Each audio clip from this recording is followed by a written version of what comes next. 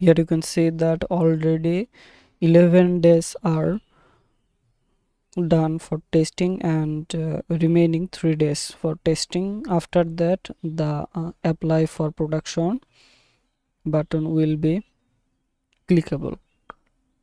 Uh, i have done already lots of account testing with our team.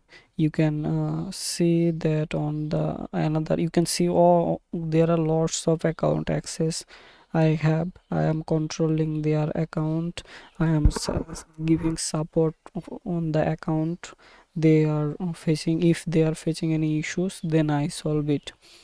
You are facing in any issues on your uh, console account then you can contact with me given description box link. There is a whatsapp telegram link. You can contact with me also via email. Uh, i'm going to share with you the few uh, apps there i have tested and uh, you can see that january 23 i have already tested and it's now production you can see here. And if we go to the play store it is live now. I tested before and lost of account lots of app i tested. Here there was another app here you can see that this is january 27 released. It's now production. It also in the play, play store. 20 tester if you need then uh, contact with me. I will help you to achieve this. And one app is in review after the in review i will test it. We have a team where we'll test the app actually. And uh, here is another account. Yes. This account uh, i am testing right now. Oh, how can you test and process for the uh, for the app?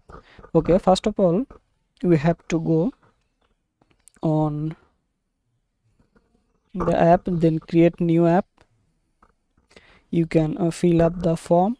After that you can go to close test okay? After go to close test you have to fill up some information about the app and you have to upload the release version app. If you don't know about this please contact with me. I will give you the support for the app testing.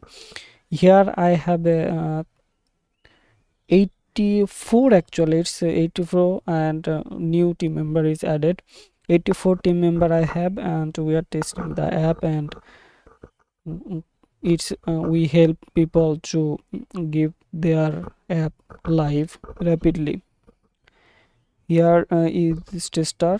We added in tester you can also add that. In the description box you can see my contact information email address you can contact with me for testing purpose